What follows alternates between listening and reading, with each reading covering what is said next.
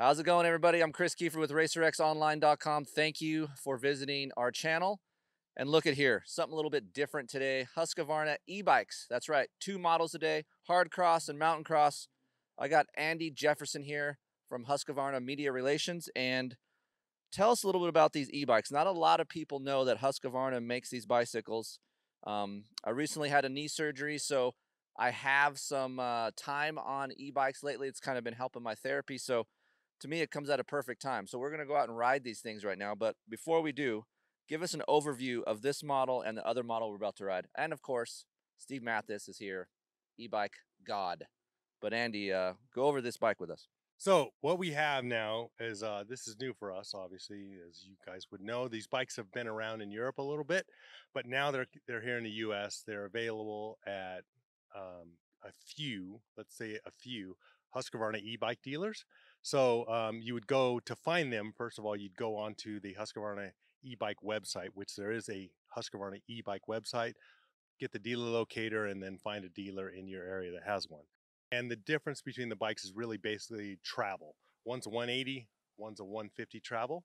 Um, but they the the things about it that are really cool is they have great components. Our bikes are all specced with the top of the line components in the business, depending on the model you get.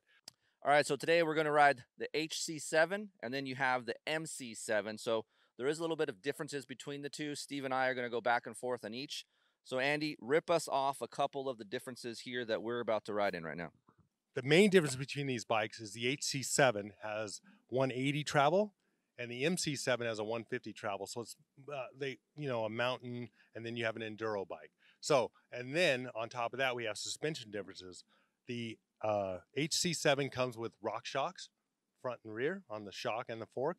And then the MC7 comes with a 36 uh, Fox shock and then the uh, DP2 Fox on the rear. And then it has a 29 inch front wheel.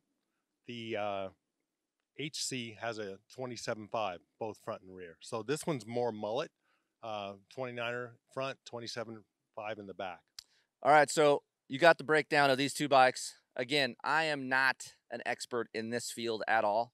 I am your newbie guy. I'm your average guy just going to go ride for fun, what we call a soul rider over here. We have the pro, Steve Matthes. He's going to walk us through all of these bikes because, listen, he puts in thousands of miles a year. And he is a perfect example of what these bikes can do to get you off your behind, lose some weight, get some motivation. And uh, he's been doing that for several years now. And that started with an e bike. So uh, we're going to go out and pedal these things right now. And we'll get back to you and uh, give you guys some information on what these things are about.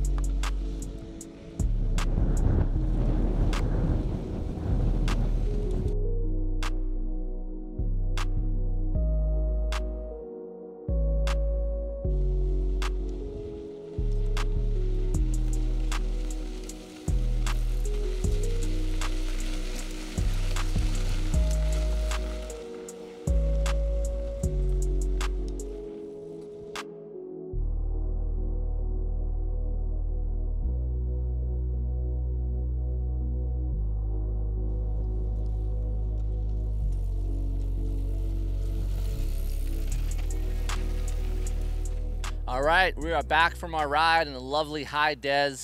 Uh, fairly good ride today. Did about 15 miles. The HC7 as well as the mountain cross here. So um, for us right now, I am not your typical e-bike person. I'm not going to break these bikes apart. I have the expert right next to me, right here, Steve Matthes, e-bike extraordinaire. Take it away, Steven. Thanks, Kris. Yeah, I really enjoyed the ride today. It was fun. High Des life. Uh, we saw a car. We saw a guy in a tent. We may have saw a cougar out there. We saw washing machines. It was it was an awesome ride. We saw everything. We went over a car at one point. But uh, the new Husqvarna e-bikes are here, and I like them, man. They look the Shimano EP8 motor. Uh, is a huge gain over the older Shimano motor, and both of these have the EP8 motor, and that's a massive uh, difference, Kris. I-, I felt like from the older bikes that had the other Shimano motors. Like, what do you call it? Like the Shimano motor, like I feel like it has more when every time you crank, it has more bottom end. I guess that's what you call it. Yeah, it's just more Newton meters. So uh, both bikes were really good. I spent most of my time on the hard cross. Uh, Kris, you spent most time on, the, on this one here, in the mountain. And um, for the prices, I feel like the components are good. You get that motor that I talked about. This one is a medium. This one was a large, so there's a little different frame size in them. And I, truthfully, I'm six feet tall. I can kind of go between both. I saw I saw some good and some bad about both of the frame sizes. To me, uh, suspension was great. It was set up for my weight uh, and or speed. Um, and I really like the inter- integration of the uh, the Shimano dashboards, the Shimano uh, on-off button for the EP8 motor, and I love the seats. Husqvarna e-bike seats were really comfy. Yeah, so I'm used to my Intense Tazer, and it's a little bit of a harder seat, and I haven't been riding that much, so it's a little bit tougher on my rear end.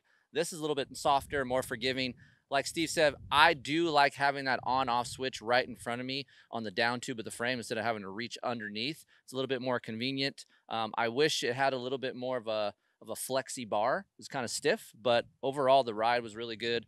I don't know enough about mountain bikes to kind of tell the difference, but when I hop on this thing, I have fun. It's easy to shift, um, has more than enough power, and uh, as of right now, like I said, been getting over a knee injury, so getting out on an e-bike helps me with my program getting loosened up and get me back on my dirt bike. Look, we know how great e-bikes are. I don't got to go on and on about them, but uh, this hard cross one has a bit more travel than this mountain one does, and I noticed that you know it definitely was plusher. This was a medium frame, so for me, I felt like the this hard cross was underneath me more, and it was it was able to move easier and kind of soak up the bumps. And again, it has 30 millimeters more uh, travel in the back and bigger in the front too. So for me, this one was maybe a bit if you ride more um, um, bigger stuff, uh, bigger jumps, bigger uh, downhills, I think you'd go with the hard cross one. Yeah, we were out there ta- on the trail talking, and you, you normally ride a large frame, and this was a medium frame, and you said, oh, it feels kind of small. But then by the end of the ride, you kind of like, oh, I kind of like that. I might want to try one. Yeah, I think uh, I might. Uh, you know, I work with the guys at Intense. I might try a medium frame uh, because, like I said, I'm right in that middle of that range between a medium and a large. And this Husqvarna Hardcross one, uh, really good. I like the size of the battery. Also, it's got a bigger battery than some than a lot of bikes that have the Shimano motor. So I noticed we rode uh, for a couple hours out there and uh, only lost one um, notch in the battery. So uh, the battery size on these Husqvarnas are good too. Yeah, I took uh, the Intense out for the camera guy that's behind the camera right here, and actually we're down to like two bars. So it did use a lot. This stuff um, for me when you use it uh, like you said, two hours, and we still had three to four bars. So yep, yep. So the battery size is a little bit bigger. The EP8 motor is great. I didn't like the brakes as much. I think that's more just a personal adjustment. I like my brakes really sensitive. I run some different pads, so I felt like these brakes came into my fingers a little bit too much uh, on the SRAM uh, on this hard cross. I SRAM stuff. Uh, but yeah, uh, again, the seat was really comfy. The motor is fantastic. I like the bigger travel. If you're an average guy like me, he's an elitist. He talks a lot about me being this way on dirt bikes, but he's picking out stuff that I don't even notice. So if you're a normal guy picking up the bike, the the brakes feel the same to me. I, I really like the fact we, we we tested the Yamaha a little while ago. Blue Crew is in on the e-bike uh, uh, world. Husqvarna's got this. Gas Gas is coming out with an e-bike. I think this is pretty cool. The whole little, you know, no matter what you ride, almost no matter what you ride on the uh, on the dirt bike side, you can get an e-bike to match. Or it seems like manufacturers are doing that. They're embracing e-bikes. Of course, GNCC series you can ride it. You can race an e-bike on the neck the day before. So it's really cool. Yeah, if you're brand loyal, I think that's pretty nice. Like you're loading up in the the back of your van or your truck, and you you put up a FC 450 and you put up one of these, you know, HC sevens in there. I think it's kind of cool. And you, you go to your your local dealership, you buy a motorcycle, you find the the e-bike dealership, you get this, and uh, to me, it's more uniform. It has a good look, and uh, you can always count on Husqvarna quality. A lot of people talk about the dirt bike side about how reliable they are. I think for me, um, this bike is well built, and for six grand, that's fairly inexpensive for an e-bike, right? Yeah, the prices are right in line uh, with a lot of the e-bikes, if not a little bit cheaper. Now you're getting aluminum frame with these, not carbon.